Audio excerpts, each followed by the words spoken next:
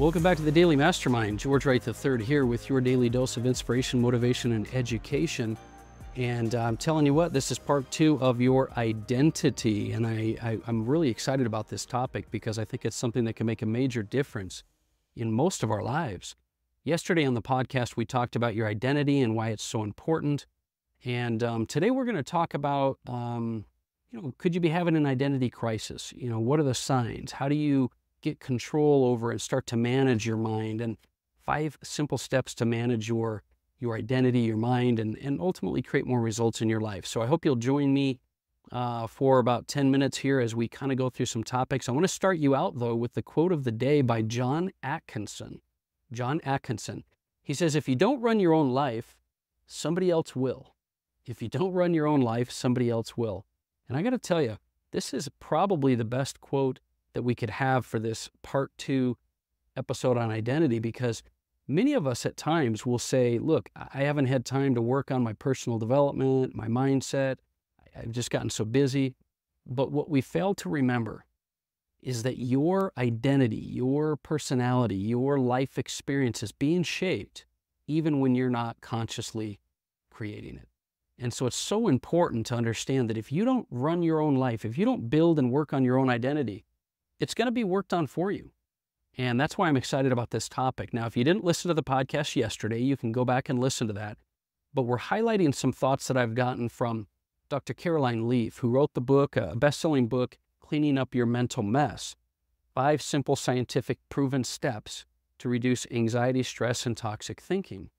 And the reason I love this book, now, yesterday you're gonna you're gonna remember that we talked about that you are not your mind you're just managing it you have to learn to manage it and your identity is being shaped by how you filter and see things. But your identity is also shaping how you filter and see things.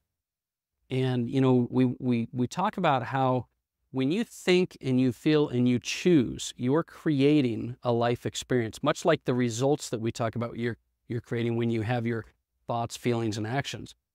Um, but the confidence level, the self worth, the happiness, everything in your life is being defined and filtered through this identity. And it's so important that all of us understand that our identity is unique, it's special, it's different. No, no two people are alike. You have an identity that's very unique to you. So, what are you going to do when, and if you don't, maybe you don't notice this, but when you're having an identity crisis, when you're starting to have your identity shape your life in contra- on contrast to where you want it to be shaped or where you want it to go. How do we manage our mind? How do we create a strong identity? And that's what I want to talk to you about here today. And we're going to talk a little bit about this. Um, but first, the way we're going to kind of set this up is to identify what it is that helps you to know if your identity is weak, if your identity is struggling, if you're having an identity crisis. And there's a lot of questions and and things, but understand that your mind and your body and your emotions will, they'll, they'll be signs, they'll trigger, they'll create um, little red flags for you to look at. So I want you to ask yourself a few questions. Number one, you know, are you filled with inspiration, purpose, and passion? Do you feel creative? Do you, do you have excitement? Mm-hmm. Or on the contrast, are you tired? Are you run down? Um, are you not, are you lacking creativity? Because if those are the if those are the things that you're feeling in your life, then you could be struggling from a weak identity. You could be struggling with your identity and and how it's shaping your your view of the world right now. Are you, do you have the ability to create peace or feel calm? Do, can you now? I know that there's ups and downs in life. Excuse me, but but can you bounce back and get to a place where you can feel calm, or are you stressed and anxious? Um, and, and another great way to identify what your identity is doing for you is looking at how you treat yourself. Are you kind to yourself? Or are you patient with yourself? Or are you short and critical and argumentative with your own, you know, thoughts and personality? Are you are you able to catch yourself and and bounce right back? Because that's another thing. Look, understand that we're all going to have our ups and downs, but can you catch yourself and make a change with your with your mind? Can you um, you know get back to the place you're looking for and, and on the right path? Another thing is ask yourself, and this is if you're struggling with your identity, is do you have a sense of direction? Or are you feeling stuck and alone or paralyzed or in limbo? You know, are you feeling overwhelmed and, and negative and having you know these toxic thoughts that we talk about? Or do you constantly have a feeling of hope? Because if you have a strong identity, you're going to have hope, you're going to have peace, you're going to have some calm. And some of the biggest triggers and I would say red flags of having identity crisis or issues is these negative emotions like bitterness and jealousy and rage, anger, um, anxiety and stress, this victim mentality. Those are all telltale signs that you need to work on your identity. Um, and these are not, you know, identity doesn't determine these things, not all of them, some of them it does. But ultimately, most of these problems are rooted in your sense of identity.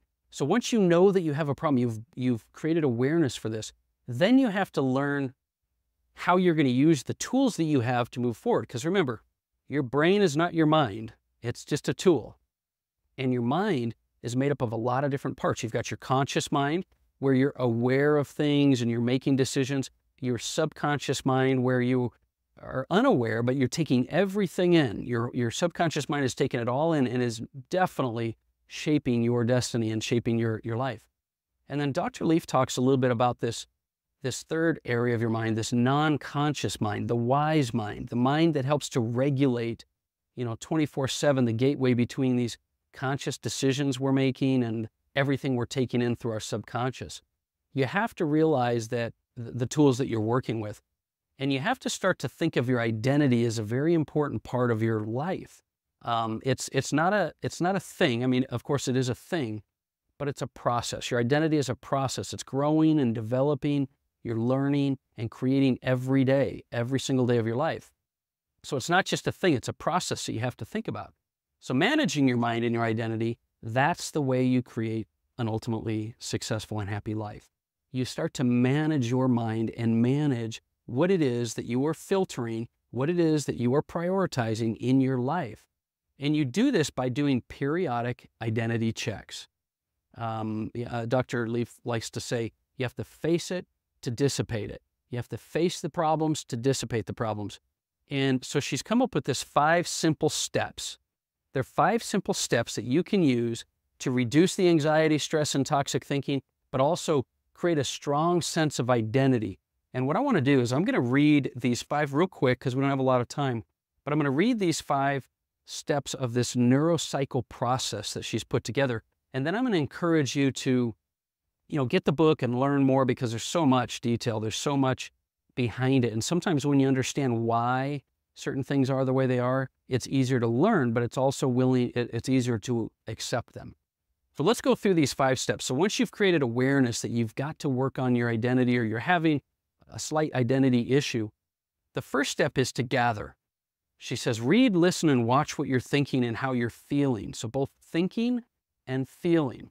Remind yourself that something you're dealing with or this person often uses their actions and words as a cry for help. And this is just a sign that they're trying to make sense of what's happening to them, but don't know exactly how to verbalize it to you.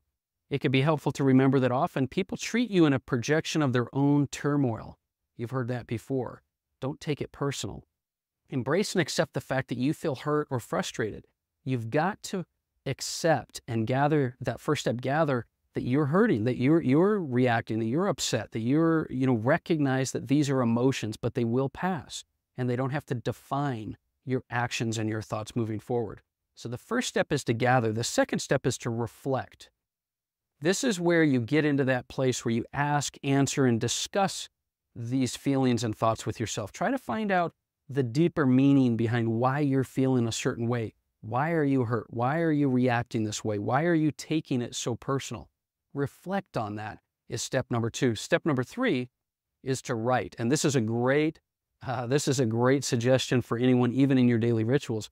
Journal and organize your thoughts that you're having. So after you've gathered and reflected, write down your thoughts.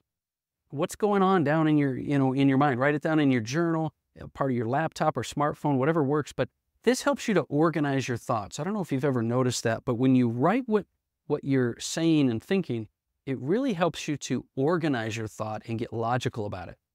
So the fourth step is to recheck. So after you've gathered and after you've reflected and written down what you're thinking and feeling, recheck, reanalyze and examine what you've written down. Go back to it now and talk to someone else to get a wider perspective of the situation or do some, some feedback on it. But it's always good to go back through what you've written. And then step five is active reach. And this means apply what you've learned or what you've what you've determined in some tangible way. So once you've calmed down, reach out and love and ask them what you want, what, what you can do. Um, be more supportive, even if it just means listening to the people and expressing, you know, the, helping them to sort of express their emotions. What you're doing here with these five steps, I hope you, you really understand these, is you're gathering what you're thinking and feeling, you're reflecting on it, and then you're right. And this is a conversation, not just a thought, a conversation reflecting on what you're feeling. Write it down, and then go back through it, and finally find a way to apply what you've learned so that this is the process. This five step neurocycle process is the process you go through to literally change the hardwiring in your brain and set up, you know, those paths that fire together, wire together. This is going to literally change your brain. And these steps will help you to connect with your, what Dr. Leaf says is your wise mind, the best version of yourself, and ultimately create a happier, healthier life, which is our goal on this podcast. But it's going to take some work and some focus and time. It's going to take some consistency. But I promise you it'll be worth it. I promise you that these steps, and I and, and she just has a beautiful way of putting them together, um, will help you to really detail and and and tangibly create a process for you to clean up your mental mess. And the, the book is great because it gives a lot of detail behind it and science, examples that you can relate to. So I highly recommend you go check it out. And this is basically the second part of the identity conversation I wanted to have with you. Later in the week, I'm going to talk to you more about ways that you can shift your, your perspective and some things like that. But I want you to really prioritize this idea of identity. It's going to affect your confidence, your self worth, your esteem, everything that you have going in your life. And so it's important that you make a conscious effort to develop a strong identity, something independent of the things around you, so that you can think, feel, and choose better things in your life. That's my message for today. I hope that's helped you. Do me a favor and share, like, and subscribe to the podcast so you don't miss any of them, but share this with somebody. We don't have sponsors on this show. We want to be able to keep it pure as to a quick budget uh, of your time. But do me a favor and share this episode and then send me some feedback on the Daily Mastermind at Facebook or Instagram. Send me a message. I look forward to helping you and have an amazing week.